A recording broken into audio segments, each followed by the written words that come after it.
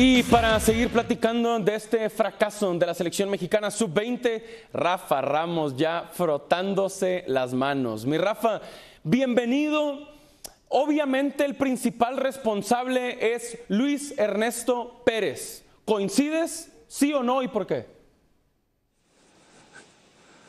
No, no coincido. Es decir, a ver, después de todos los errores, todos los tropiezos, eh, después de acumular tantos fracasos eh, con Gerardo Torrado, porque tenemos que entender algo, si Gerardo Torrado fue el que inclinó la balanza para que llegara Gerardo Martino, y porque evidentemente se perdió una final eh, de, de, Liga de las Naciones, se perdió una final de la Copa Oro, se tuvo una discretísima Olvídate de la puntuación. A México lo clasifica el Mundial la mediocridad de Panamá, de Honduras, de El Salvador, de Jamaica y por supuesto eh, de Costa Rica. Entonces, el, el, responsable es el que, el que lleva al compadre, porque Gerardo Torrado nunca valoró el puesto. Simplemente como eligió también al Jimmy Lozano, como se hizo con Diego Ramírez anteriormente, ¿Sí? va a la lista de los compadres, no va a, a, buscar a gente más experimentada, más capacitada para poder Rafa. tomar el puesto. Escuchábamos al Potro Gutiérrez. Encuentras a alguien mejor que el Potro o Luis Fernando Tena que estaba sin chamba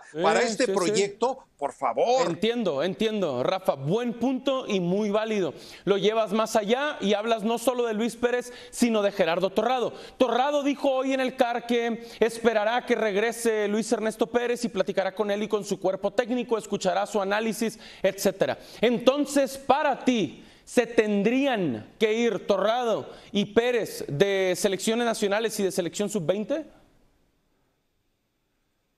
A ver, te comento lo que, lo que publicaba en el blog hoy. Es que John de Luis y Gerardo Torrado no deben de presentar la renuncia hoy, ni la debieron de presentar ayer, la debieron de presentar desde el fracaso acumulado de México en Liga de las Naciones, Copa Oro y las humillaciones ante Estados Unidos y Canadá. Ellos tendrían que haberse ido ya y por eso no voy con Gerardo Torrado, que es el que a final de cuentas se ha equivocado en la selección del ser humano. Pero si John de Luisa no cuestiona, si John de Luisa no, no tiene la capacidad, porque no la tiene, para poder interrogar sobre las malas decisiones, aquí pasa algo muy claro, a y ver. te lo cuento porque eh, así me lo platicaron hoy. John de Luisa le dijo a Gerardo Torrado, ese es tu cochinero, límpialo. Por eso Gerardo Torrado precipitadamente en una conferencia de prensa a la cual se cita eh, ayer por la noche, uh -huh. bueno, pues entonces tuvo que dar la cara, pero te lo adelanto, Gerardo Torrado se va a lavar las manos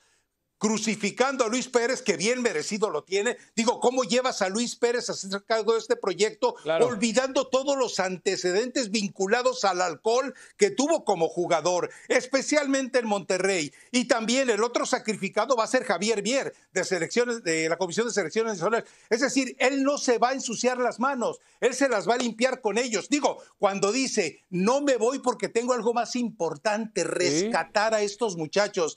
No, Gerardo Torra entiende algo. Tú y John de Luisa no son parte de la solución porque son parte del problema.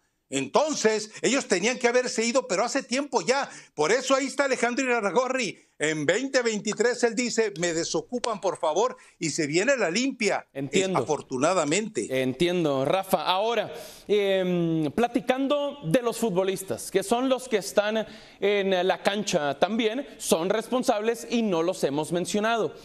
¿Qué hacer con estas generaciones, Rafa? Que en su momento campeones del mundo sub-17, sí, y luego campeones olímpicos también. ¿Y ahora qué ha pasado, Rafa? ¿Falta de oportunidades? con tantos no formados en México, falta de talento, ¿qué lectura le das a la eliminación desde la perspectiva de los futbolistas?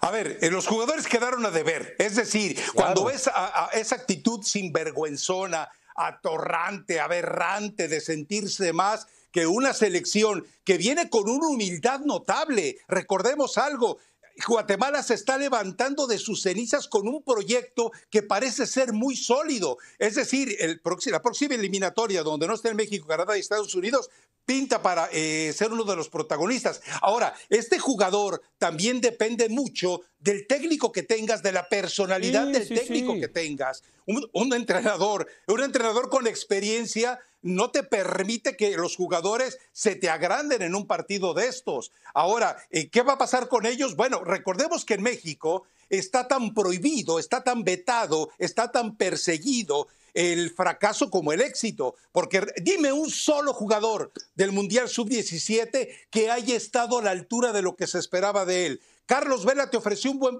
eh, un, buen torneo en la Real Sociedad y un buen torneo en la MLS. Después, totalmente desaparecido. Giovanni Dos Santos, por vida de Dios, eh, lo han echado de todas partes. Es decir, si los grandes valores de esa sub-17 no han sido capaces de consolidarse, es por eso, porque en México está tan, tan prohibido el éxito como perseguido el fracaso. A estos muchachos, bueno, pues como a los de la sub-17 que también quedó campeona con el Potro, los van, los van a arruinar, los van a desaparecer. No hay manera de salvarlos porque no hay una estructura para salvarlos. Si Gerardo Torrado no fue capaz de salvarse a él mismo como jugador, ¿tú crees que puede ayudar a estos muchachos si un tipo que es tan parsimonioso para hablar no, digo, ojalá hubiera tenido, eh, ahora como directivo, ojalá tuviera la sangre que tuvo como jugador. Pero hoy yo escucho un discurso tan pusilánime, tan timorato, que es vergonzoso lo de Gerardo Torrado. ¿eh? Es una buena plática, Rafa. Gracias por ponerlo sobre la mesa. Lo seguiremos conversando porque sí es un fracaso grande e importante y no debería, aunque muchas veces pasa, dejarse de lado tan rápido. Gracias, Rafa.